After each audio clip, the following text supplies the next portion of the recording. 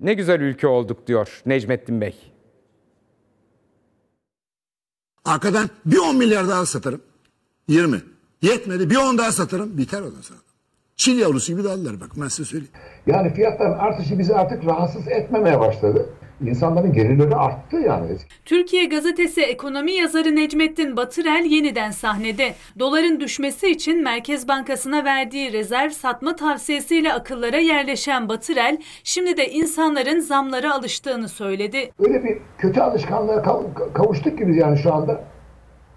Yani fiyatların artışı bizi artık rahatsız etmemeye başladı. İnsanlar anormal karşılamıyor. Eskiden fiyatlar arttığı zaman aa ol- olur mu bu fiyat falan denirdi. Şimdi bakıyorum ben alışveriş merkezlerine gidiyorum.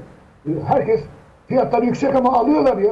Batırel'e göre asgari ücrete yapılan zamla insanların gelirleri arttı. Bu da alışverişe yansıdı. İnsanların gelirleri arttı yani eskisi gibi değil.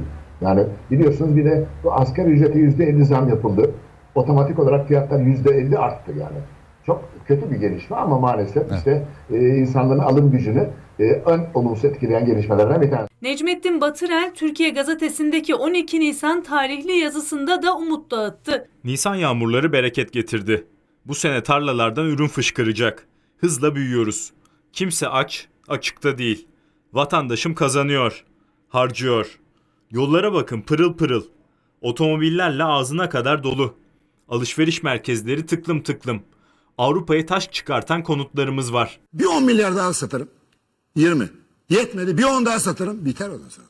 Çil yavrusu gibi dallar bak ben size söyleyeyim. Dünyaca ünlü ekonomist Necmettin Bey dinlediniz efendim. Alışveriş merkezleri dolu diyor. Dolu. Doğrudur. Elektrik faturası kabarmasın diye alışveriş merkezlerine gidip bütün günü orada geçirenler biliyorum. Isınabilmek için. Dolaşmak bedava AVM'de. Çoluk çocuk bir alışveriş merkezine gidip yemek yemeye kalkılsa bir aylık mutfak masrafını oraya bırakmak gerekiyor. Şimdi havalar ısınacak yazın da alışveriş merkezlerinin klimalarından faydalanmak üzere oraya gidenler olacak. Dolaşanları satın almaya geldi sanıyor herhalde Necmettin Bey. Ya da gözü var, gözlüğü de var ama görmek istemiyor kusura bakmasın. Benim de var, benim de gözler bozuk. Neyse. Ee, arabaya binemiyor, arabasına binemiyor vatandaş. Kapısının önünde duruyor aracı. Akaryakıta gelen zamlardan sonra araba sahibi misin, dert sahibisin. Neyse iyi ki arabam yok. Şubat'ta %20 zamlanmıştı trafik sigortası. Şimdi her ay %2.25 otomatik olarak ayarlayacaklar ve artış yıllık artış %51'i bulacak zorunlu trafik sigortasında. Aracı olanların derdi katlanacak. Benim araba kullanma özgürlüğümü kısıtlıyor bu mazot zamları. Melih Çakır akaryakıt zamlarından sonra kontak kapatan sürücülerden sadece biri. Oğlumun sınavı vardı. Ben karşıda oturuyorum. Maalesef trenle geldim buraya. Ee, arabayı bir yere bağlamak zorunda kaldım. Şimdi tekrar trenle gideceğim. O arabayı ne zaman çalıştıracağını bilmiyor çünkü yüksek oranda gelen zamlara karşılık kuruşluk indirim yapılıyor. Milyonlarca sürücünün gözü benzin istasyonlarındaki tabelada ancak araç kullanmanın tek bedeli yakıt değil. Zorunlu trafik sigorta ücretleri de yükseltildi. Yani hiç şaşırmadık ki bu zamlardan sonra. Yani normal. Daha iki buçuk değil, üç buçukta gelse ee, diyecek bir şey yok yani. Her şey %50 zam zaten aldığınız maaşlara göre düşük yani. Sigortacılık ve Özel Emeklilik Düzenleme ve Denetleme Kurumu 2022 için aylık prim artış oranını %1.25 olarak belirlemişti. Ancak enflasyon ve kurlardaki hızlı artış nedeniyle primlere Şubat'ta %20 zam yapıp aylık zammı da %1.5'a yükseltti.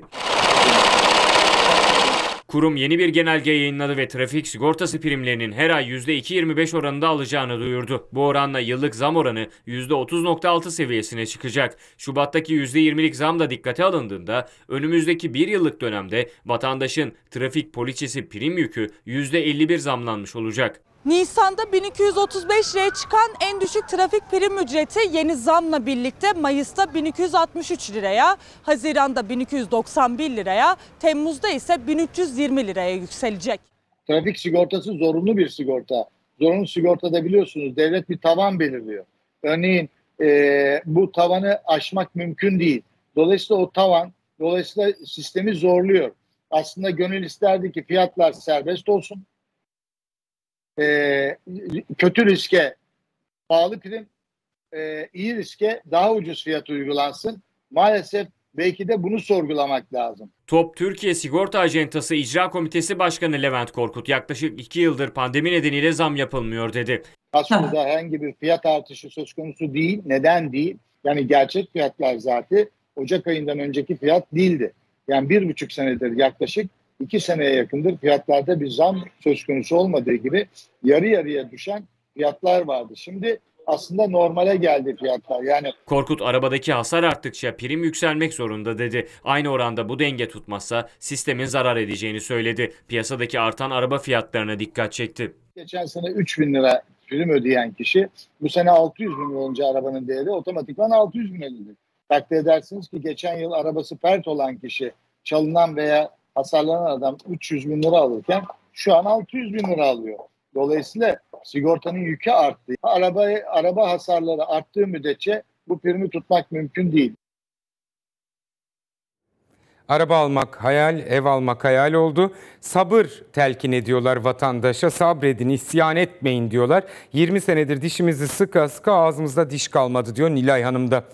Emeklilerle ilgili en düşük emekli maaşının ve emekli ikramiyelerinin 5 bin lira olmasına dair bir kanun teklifi meclise sunuldu.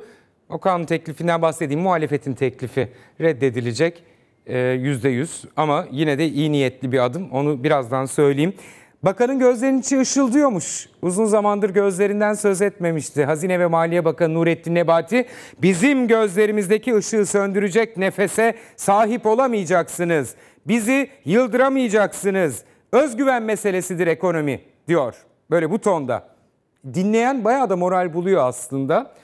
Ee, dünyada enflasyonla savaşanlar e, daha doğrusu Ukrayna ile Rusya'da savaşan iki ülkede birinde %10, birinde %9, bizde %61.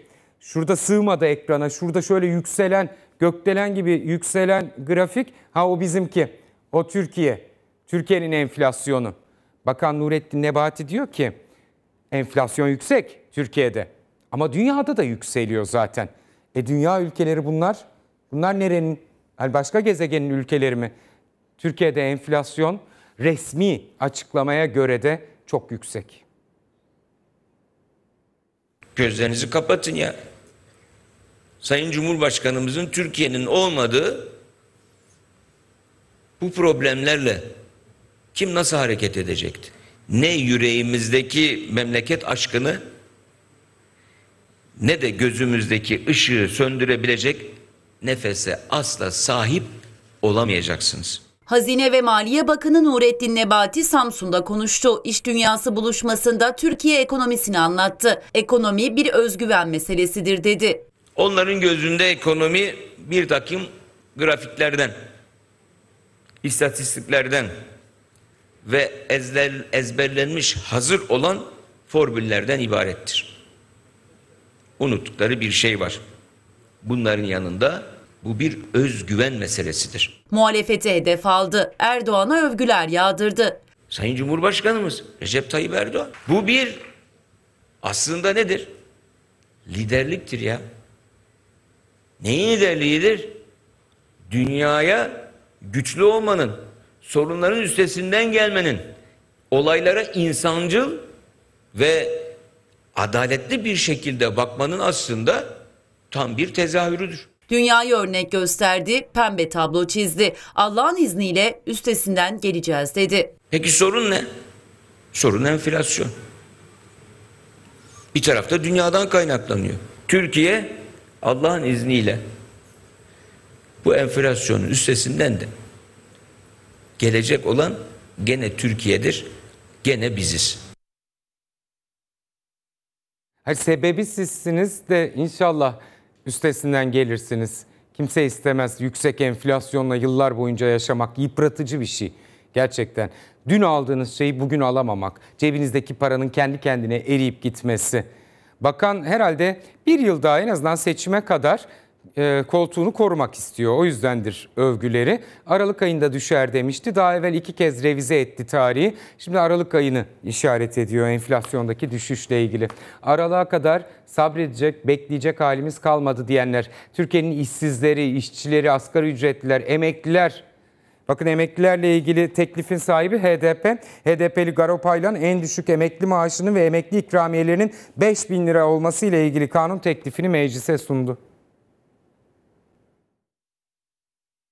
Emekli bayram ikramiyelerinin bu bayramda ve Kurban Bayramı'nda 5000 TL olarak belirlenmesi amacıyla bir yasa teklifi sunduk değerli arkadaşlar. 5000 lira şu anda açlık sınırı olarak belirlenen rakamın tam hizasında olan bir rakamdır. Yani açlık sınırı şu anda 5000 liraya gelmiş durumda. Biz hiç de yoksa